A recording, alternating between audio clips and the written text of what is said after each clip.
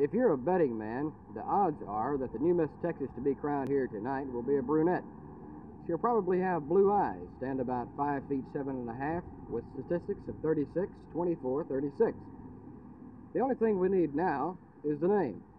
The six girls who have been named preliminary winners in talent and swimsuit competition thus far happen to be all brunettes. Last night, the preliminary winners were both from Tarrant County. Taking top honors in swimsuit competition was Miss Fort Worth, Maybeth Cormody. The winner of talent was Miss White Settlement, Janice Bain. Ten of the 63 girls vying for the Miss Texas title will enter the finals tonight, which begins at 8.30. The contestants, all 63 of them, are having five hours of final rehearsal this afternoon for the big show to be regionally telecast. Whether you like beauty pageants or not, the 1971 Miss Texas presentation has been a tremendous success, tremendous show. Some of the best talent ever seen at the beauty pageant has been presented here. And of course, there's the added attraction of Miss America, Phyllis George, and the current Miss Texas, for five more hours, Belinda Myrick. And one of the 63 lucky girls, one of the finalists, top 10, will be able to drive away this car later on this evening. We'll know about 1045. This is Jim Green, Channel 8 News on the Move, Fort Worth.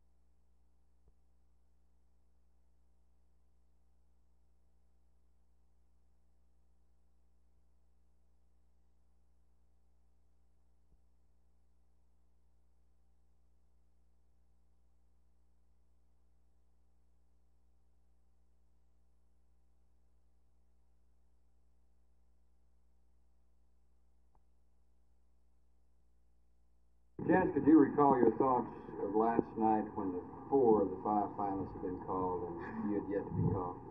Just sheer hope. it was really a, a desperate feeling, sort of, for the first four to be called.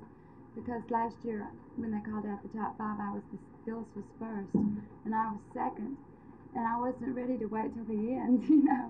And I was beginning to, to condition myself to not make the top five. I said, "Well, kid, you're not going to make it." but when they called out the fifth one, I was really happy. How do you feel this morning? Fantastic. That's my word for the week.